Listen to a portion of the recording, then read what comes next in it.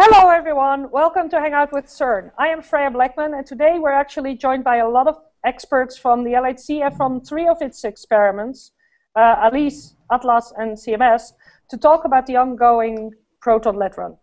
Uh, we will first show you some uh, uh nice lead proton uh, collision events to uh, get started. And so let's do that first. And meanwhile, I will chat a bit more uh, about uh, what we're going to be doing today. So last week we actually had quite a nice discussion about uh, about these lead ion runs, and we think that there were so many questions there that we're, today we're going to focus mostly on questions. So we'll keep the introduction short and keep the questions coming, and we'll try to answer as many as possible. So um, before we do that, I uh, propose that we first go to uh, Steve, who will remind us a bit more of what we heard last week. Steve, please go ahead. Hi, Steve. Hello, everybody. If you guys weren't here last week, or if you weren't here last week, let me give you a quick recap. What we learned was that at CERN in the LHC, which was designed to collide protons together and to, to collide lead ions together, we're now doing something that wasn't on the program, and that's colliding protons with lead ions. Why are we doing this? We found out, our theorist friends, that it's interesting to do this. We learn some things. In particular, when you take a smaller particle and smash it into a bigger particle, you learn about the structure of that bigger particle, and that's something very interesting to know. We use lead ions because we want to really go back in time and to see what, what the universe was like at the very instant just after the Big Bang back when quarks and gluons were living together and they weren't yet forming protons and neutrons. It's a very interesting realm to try to understand and to learn about. And so we're probing that.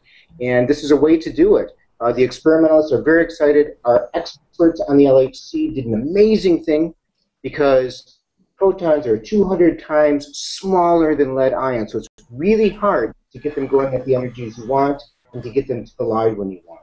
So that's what we learned. Now we're going to hear from the experts what we're learning from it now. Yeah, exactly. Hey, thanks a lot, Steve. Um, before we start doing that, though, of course, we have a nice trivia question every week. So this time, uh, Ken will ask the question. Uh, Ken, how are you doing? And uh, hey, give us our hi, question. How are you? Good morning. Okay, so you may have heard on Twitter that about five days ago, high energy physicists celebrated the anniversary of a very important fundamental particle 30 years ago, this 30th anniversary. Let's hear a little bit more. Our trivia question is here's the question What two famous physicists were awarded the Nobel Prize for this fundamental particle and when? What two physicists and when were awarded the Nobel Prize for the discovery of this important particle that we just celebrated the anniversary of? Okay, back to you, Freya. Thanks a lot, Steve. How did so, they answer you? How did they answer you, Ken? Oh, great, great question, Steve. Okay, so they can post their question with the tag ask hashtag ask CERN on Twitter, or maybe the easiest way is just put your comments right on the live YouTube feed, or you can even put them on the Google Plus event invitation in that order. Okay, back to you, Freya. Thanks a lot. Thanks a lot. Um, so last well, yeah, before we dive in, we do have some nice things to show. So we have a lot of different people here today, and I want to introduce them. So um, we have some special guests, and um, I would, but before we introduce them, I would like to introduce the physicists. So let's start with uh, with the physicists uh, who are actually giving us these wonderful collisions, which is Detlef and Django. Hi guys, say hi. Hello, Hello. how are you doing? and uh, then And then, and then we have, uh, of course, we have some people from the Atlas experiment. So that's Peter Steinberg. Peter, are you still Hi, I'm Peter. I'm still here. Peter Steinberg from Brookhaven National Lab. I, I represent the Atlas experiment here. Hi. And uh, then there are three people actually in the CMS co uh, remote control room. Uh, why don't you guys introduce yourself? Hi, I'm Yen-Jie Lee, uh, and a CERN fellow, and I'm working on CMS uh, experiment. And there are a lot of people out here uh, also working on CMS. And uh, hi, I'm Yetkin uh, from MIT. I'm Jan Fiete, and actually I'm an alien here because I'm from the ALICE experiment and uh, just here for the live stream. Welcome. Hi, uh, I'm Arjun and I'm from India. I'm a final year CS student. Uh, so I'm here for the live stream. Hi Arjun, it's great that you can join us, by the way. So uh, welcome. And the last guest. Yeah, thank you for the opportunity. Yeah, I hope you, uh, you will get to have a chance to ask some nice questions. So, uh, and the last person, our last guest, is Nick, right, Nick?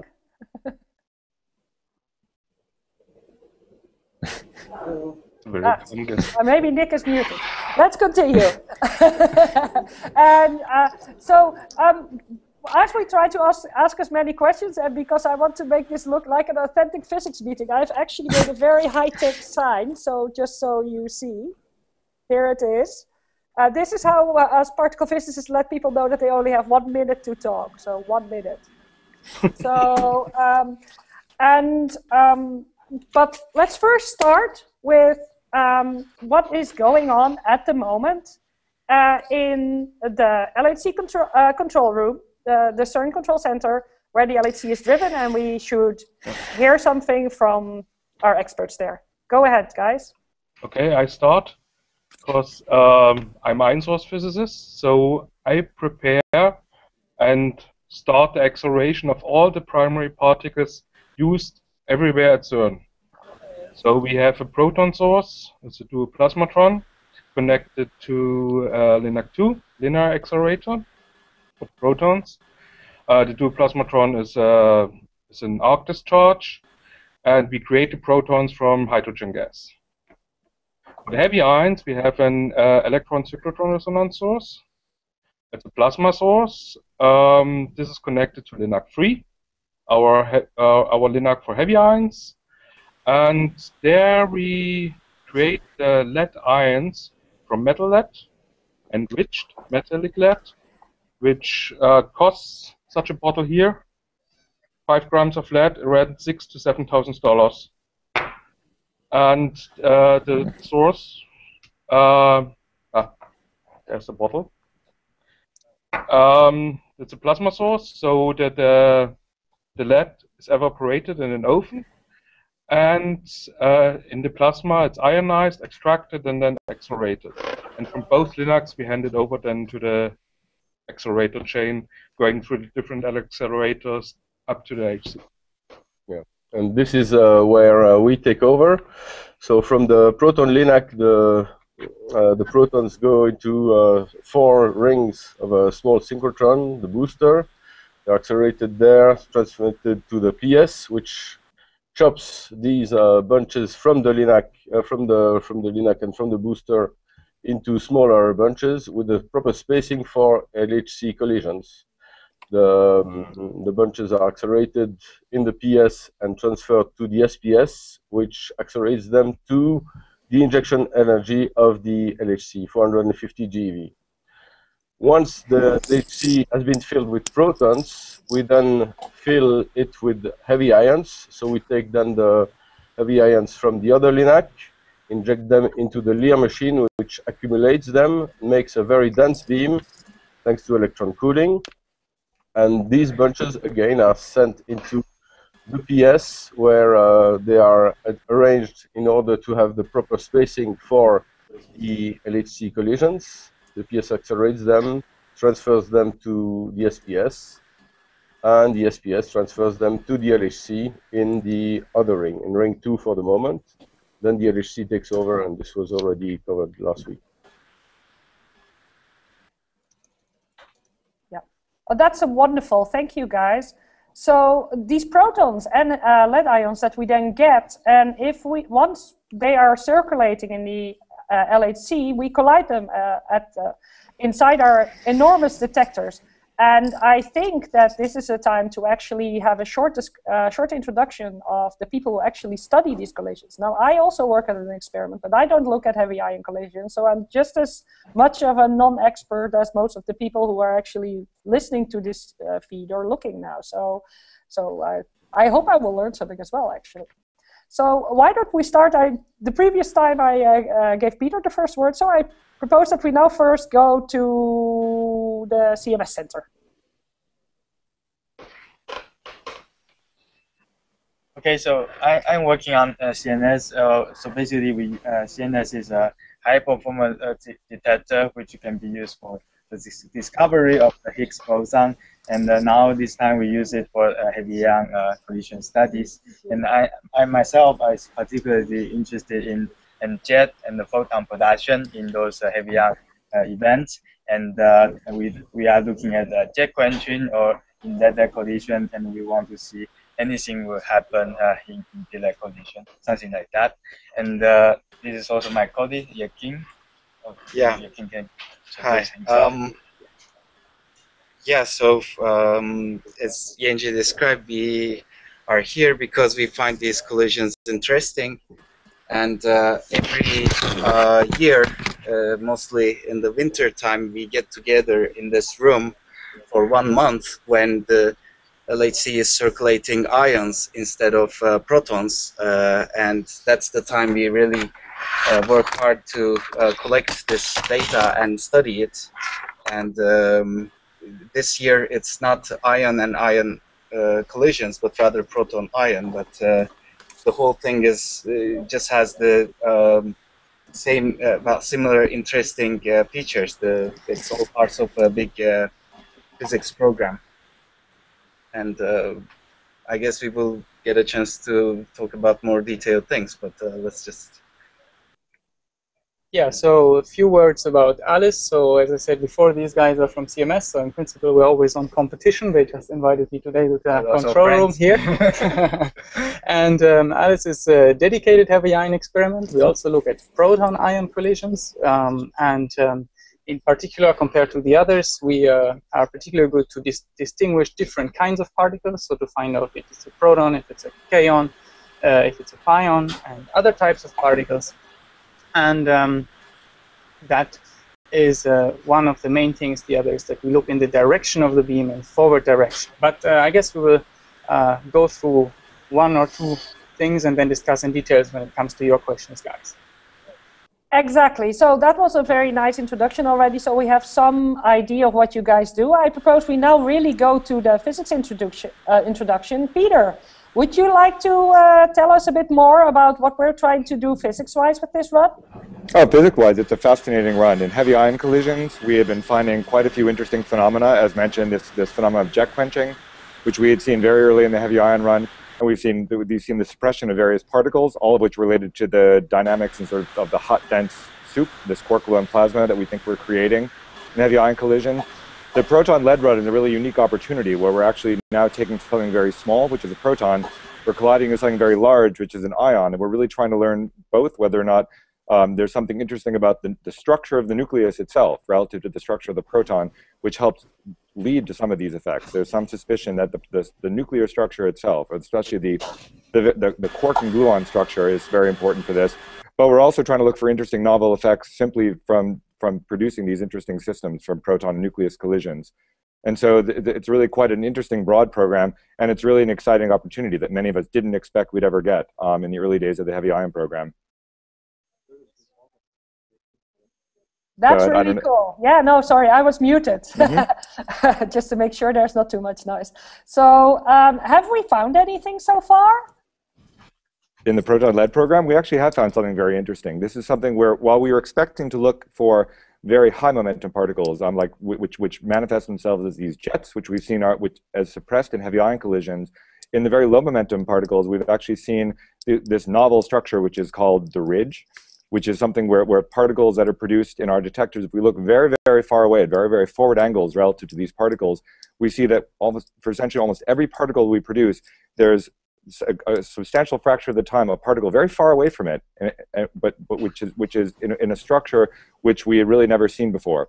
The, the closest um, the closest comparison we'd, we'd ever seen was re related, strangely enough, to the, the strange fluid behavior which we see in heavy ion collisions. We find that we, we make this perfect liquid, but there are also explanations for this phenomenon in terms of these very, very um, exotic um, QCD effects, which are related to very high density effects. And so right now, uh, this so-called ridge effect, which has now been seen by all of the experiments, is under intense scrutiny. And we expect the high statistics which we get in this run to really bear on exactly what mechanism is causing this. But really, we're all uh, bracing ourselves for, to, to see what happens.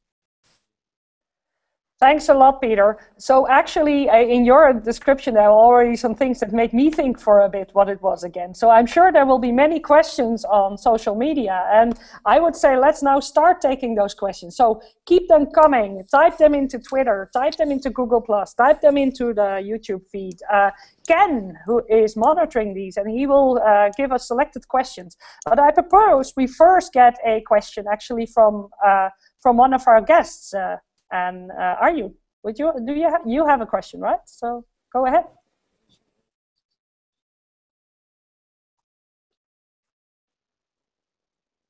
Sorry, I was muted. Uh, yeah. So my question is, uh, how do you get the idea of proton-lead collisions come into being? I mean, what was the driving factor behind uh, the experiment? Uh, I think that's a really interesting question. Um, why don't we ask, actually, with the person to answer that best uh, might be Peter again. Um, I'm, I'm, happy to field that. Um, proton-lead collisions have actually been um, something which have been discussed since the very, very early discussions of the heavy ion program. At RHIC, um, actually literally 10 years ago, right now, if I remember correctly, there was a big announcement at RHIC um, related, also related to jet quenching, which was based on deuteron gold collisions, which are not very they're not dissimilar to proton lead. The deuteron is a is a, a proton neutron bound state. It was the, the thing that RHIC was able to collide instead of protons. The idea being here that the, pro, the deuteron gold collisions were a control experiment for the jet quenching, which had been seen in gold gold collisions. So in the in the same vein, people really wanted to try proton lead collisions to in order to compare with the lead lead collisions mainly to rule out just in case if something funny was going on with the nucleus that, that might actually have led to the, this jet quenching effect. So it, at the very least, it, is, it was always thought to be um, a useful control measurement. On the other hand, the more we look, for instance, with this ridge phenomenon, proton-lead collisions are turning out to be very, very interesting in their own right, and actually very exciting. Um, there are somewhere in between a proton-proton collision and a lead-lead collision um, in a way which is also incredibly well suited to the detectors. Um, heavy ion collisions are can be somewhat challenging for these detectors, while proton lead is really in a sweet spot where we can really do an, an amazing things with the LHC detectors to study these. So to summarize, okay, it started out as a cross-check, but uh, we actually can do all sorts of really interesting things as well, and our detectors almost work better that way. Precisely. I wouldn't say they work better, but but but they work a lot closer to the, to the optimal performance they get in proton-proton collisions.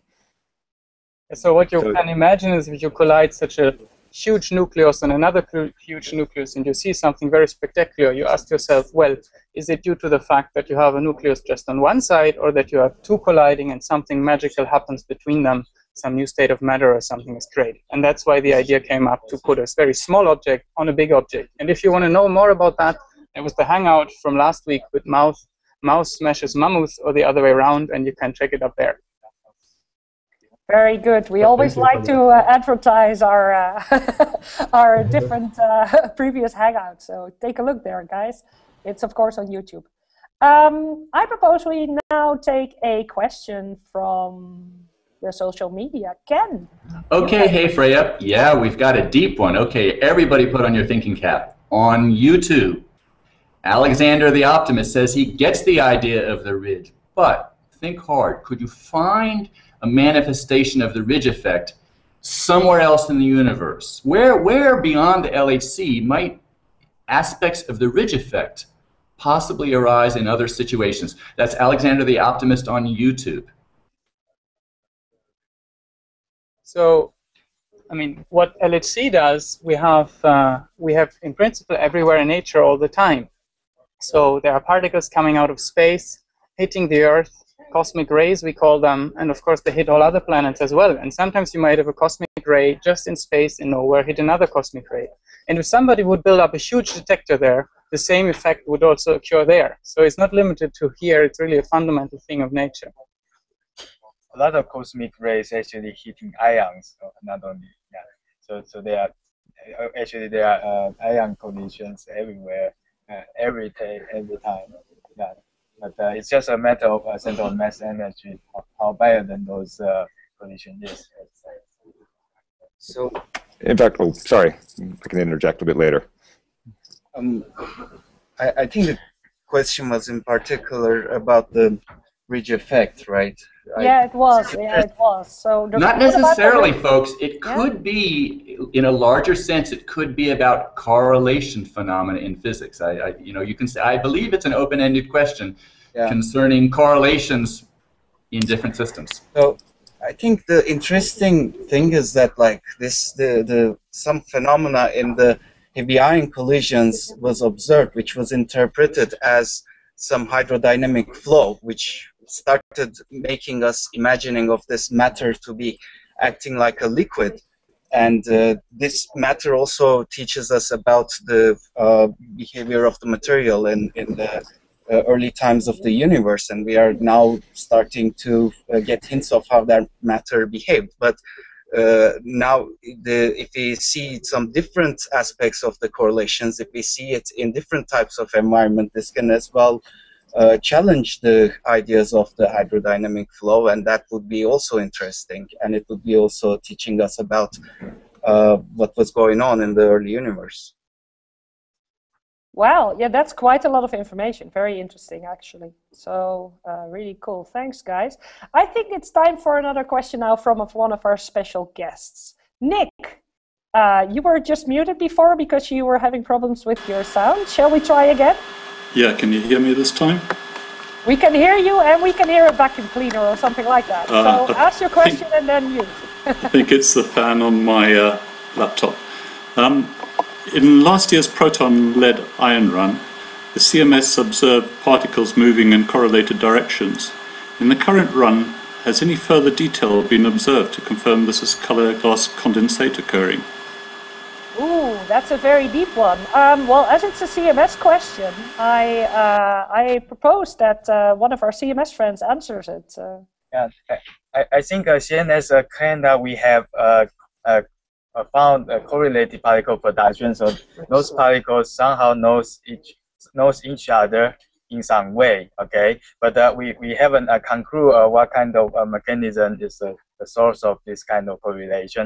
So I, I think uh, a lot more uh, activities are ongoing, and uh, we also have this nice new data we just took, and a lot of people are really working very hard to figure out what can we learn from this new data. So I, I would say this answer is not, we haven't uh, have the final answer, but we know we know that there's a new phenomena. It's very exciting, and we are working on it.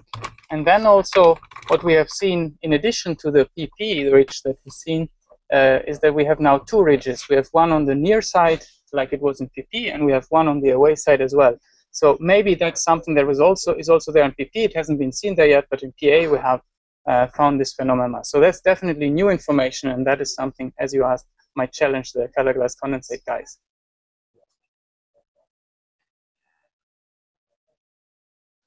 Okay, well, so that's uh, that's a, a, nice answer. So there, um, do, Nick, are you happy with that? Uh, do you have a further question? No, that was a good answer. Thank you. Ah, wonderful. Thanks. Yeah. Um, so in that case, I propose we take another question from the social media, um, oh. where I'm sure there's many questions. Ken, tell okay, us. Okay, yeah, you know, it's really a live conversation, and, and uh, Alexander the Optimist has already written back. Thanks for answering my question. That's the answer I wanted. And then we got another follow-on question on YouTube from Michael Coyle on YouTube. Wonders, okay, I'm in. Where can I find out more about the Ridge? Where can our YouTube viewers find out at a deeper level more about the Ridge? Where should we go? Good question. More rich questions. So I guess that's. Uh, so if you have uh, any particular yeah. questions no, they, yeah, what, what websites? Yeah, direct them to where to go. Yeah. I mean, you have the experts here, then there's a lot of stuff on the MIT website, uh, the press release, and uh, discussing some of the details. And of course, all the papers that discuss this are actually available uh, open access. So you don't have to be a member of CERN or one of the experiments to actually read about that. Of course, for that you have to go a bit into the details. There are physics papers. Um, look at the CERN page, look at the CMS page, and the ALICE page, and you find more information about that and I would be remiss not to mention the Brookhaven Theory Group is, is a, a, major contributor to the, the color glass condensate approach to this. They've been putting out um, actually interviews um, and, and a lot of information on the Ridge at the Brookhaven website recently. So it's, it's really quite a hot topic on both sides of the Atlantic. Yeah, I, I would propose something. Uh, our director at India has set up a web page at, uh, let, me, let me, I hope I get this right, cern.ch slash hangouts. Is that right? Hangout? cern.ch slash hangout. That's right. What we'll do is we can put on there any links uh, so for you guys to use. We'll get those up shortly so that you can follow those to, to other information. It's a really good idea. Yeah, that's a very good idea, Steve. Actually, one thing that is uh, also important to know is that next month, the monthly CERN uh, uh, publication, we have a magazine at CERN called the CERN Courier, um, actually also will spend a lot of time on this, and that is public as well, so uh, everyone can take a look there. Um, there was one more question from Arjun. I know he had another question, and then we'll go back to some more social media questions. So. Uh, Arjun. Uh, again. I'm sorry, I oh. was typing. Was that for yeah. was that for me, Freya? I'm sorry. No, no, no, that's all right. It was the first question so, yeah, for Arjun. Michael... go ahead, Arjun, and then it's you, Ken. I think we're having troubles with his connection. Okay, I so think so too. In that case, let's take another social media question. Ken, I am sure you have many. Go ahead. Okay, I, am not sure who this is for, so I don't know how to direct it. Enrico Kip on YouTube wants to know about a different aspect to the process here. Okay, if one wanted to do this cool PA experiment, who would be credited for proposing the idea to run PA? How do you proceed with a proposal like that? And then who makes the decision, okay, we're going to run PA? Over to you guys. That is a good question. I think at least one side of the can already be answered by us, our friends in the CERN control room, right?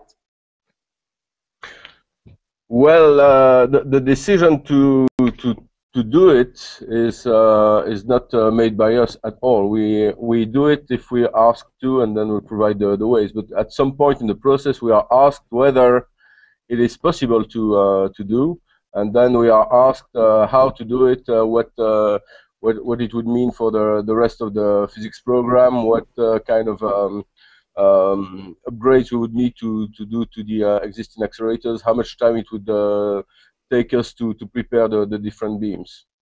In, in principle, the, the, the heavy ion source is a multi-purpose source. There we can create, in principle, any type of beam from hydrogen to uranium. But it has to be studied and also then to transport it in the different machines. That's very interesting. I didn't know that at all. So I guess that means that there's then a discussion between the experiments actually, and then after that we talk to to uh, we uh, get have a discussion amongst each other, decide how much time we want to spend on what. Uh, Peter, um, do you have any experience with that? Uh, I don't have the experience of the high-level discussions, but yes, this was one of those one of those things that came up. It was it had been discussed for years. People have been discussed doing this for as long as I've ever been um, been involved in the heavy ion program, which is eight or nine years now.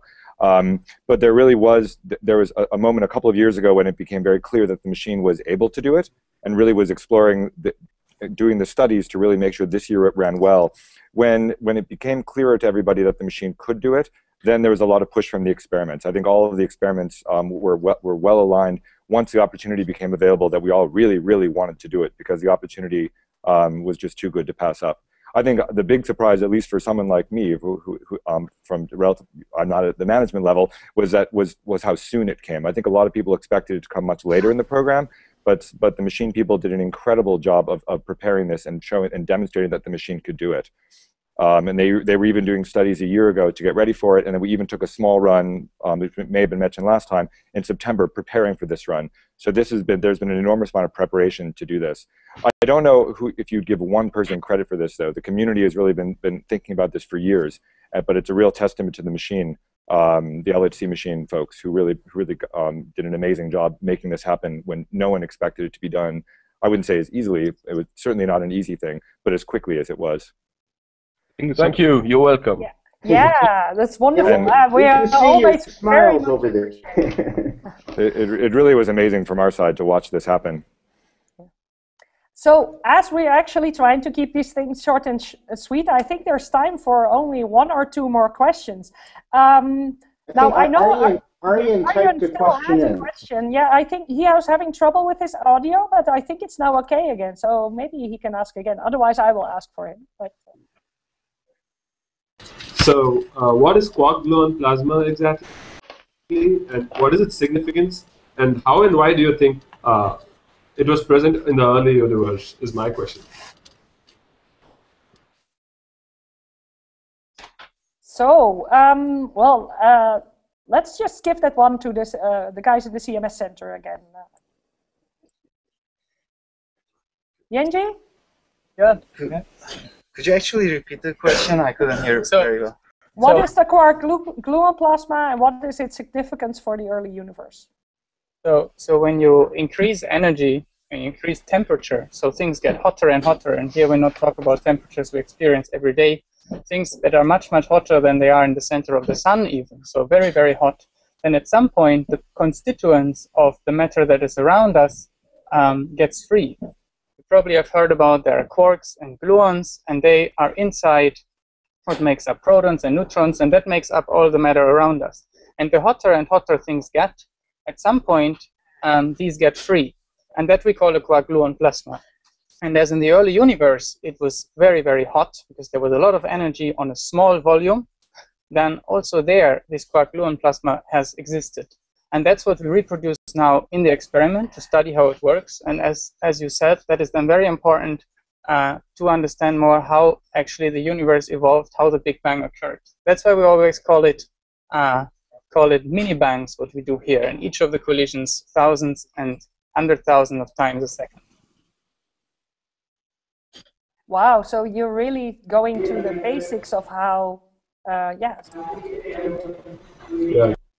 Exactly. So I think we have time for one more question, and I propose we uh, go to Ken, and he can also maybe first give us like the answer to the trivia question, which I think was a bit easy today because okay. got it very quickly. I understood.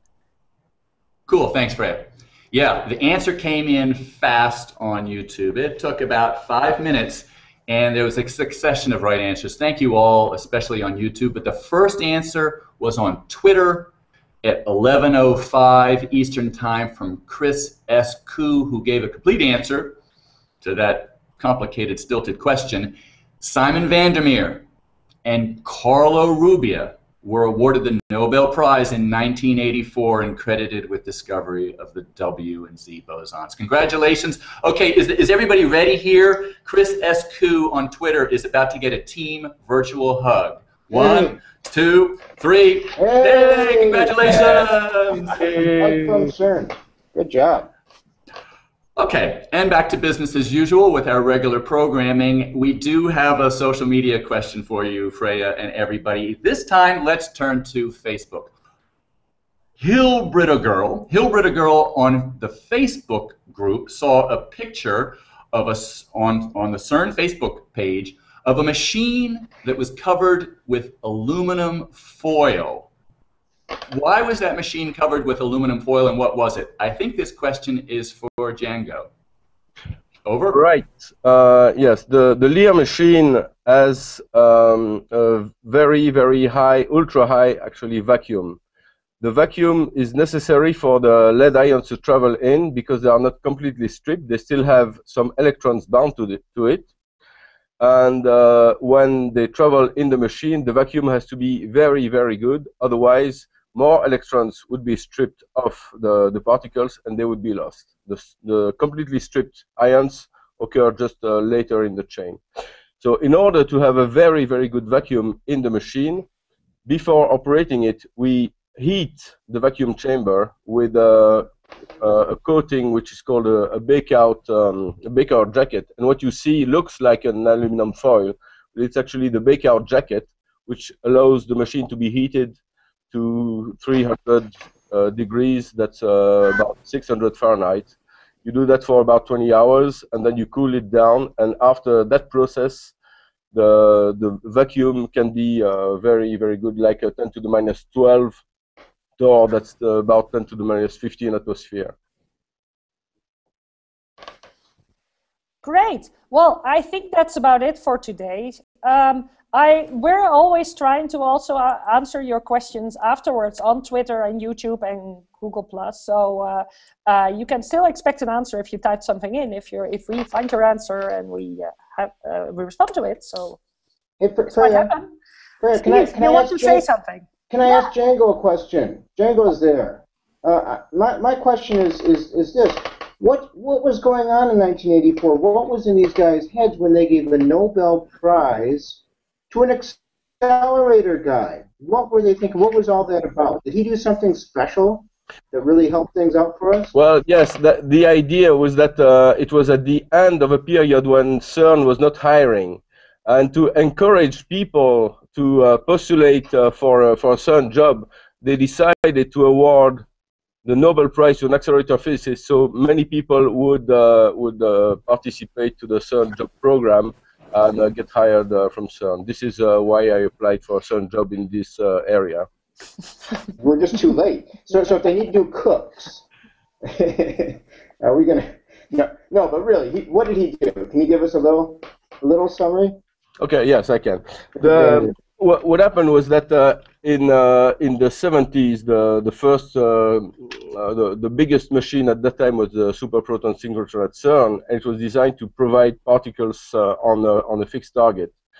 And then there was an idea to convert this machine into a collider to collide particles in a machine like the like the superproton synchrotron, which has only one vacuum chamber.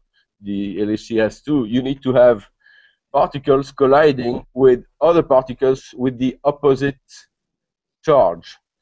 In other words, if you had protons in the vacuum chamber, to collide them with particles going in the other direction, you needed to provide antiprotons. If you, if you make, if you create antiprotons the way we, we do that by colliding protons on a target, they are produced at very large angles and a very wide um, uh, energy dispersion. And if and this uh, this makes bunches which would not have the the sufficient density for a collider to operate with a sufficient luminosity. Mm -hmm. Simon van der Meer's invention allowed to pack the uh, created antiprotons in very dense bunches by uh, by a process that he invented that's called stochastic cooling. Now, I, I think if we start uh, going into uh, the description of that, it would uh, make another make room for another hangout. Uh, this we could do uh, later. The but the idea was that his invention allowed to um, to make antiproton beams that were dense enough for collisions in the uh, at the time hadron, hadron collider. it was like the medium Hadron Collider. The first Hadron Collider was the ISR, then we had the Medium Hadron Collider, the SPS. And the USA, I think, uh, at some point had a clone copy, which uh, they had to shut down a few years ago. And now we have the LHC, the Large Hadron Collider. We're working on the very large Hadron Collider for uh, the, the next uh, decades. But uh, that's another story too, yeah. Yeah, I think I think we should really also add uh, add a nice uh, hangout actually on these matters because it is indeed very interesting. There's so much work that goes into getting these nice collisions, and uh, you guys sometimes don't get all the credit you deserve. It's really very impressive the work that happens there. Thank you. Um, I propose that we uh, um, close this meeting and that we say bye. So uh, I will start. Bye, everyone. Who wants to be last? Bye, bye, everyone. Bye. Thanks for joining. we know what Bye, everyone. Bye. Bye, everybody. Bye, everybody. There it is. I see.